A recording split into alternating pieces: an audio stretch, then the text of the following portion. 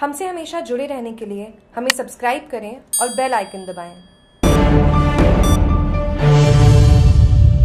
अनाथरा bus station पर दर्दनाक हादसे। गैस भरे ट्रक के पीछे से टकराई बाइक। मोटरसाइकिल पर सवार दोनों की मौके पर ही मौत। दोनों शवों को अनाथरा हॉस्पिटल के मोर्चरी में रखे। दोनों व्यक्ति गरासिया समाज के बताए जा रहे हैं। कालू राम हीरा राम गरासिया, उम्र 35 वर्ष, निवासी ठेकाम जरा गाँव। प्रेमाराम, झुमाराम, गरासिया, उम्र 30 वर्ष। थाना अधिकारी गीता सिंह मौके पर मौजूद। जागरूक टीवी के नागानी से महेंद्र सिंह परमार की रिपोर्ट।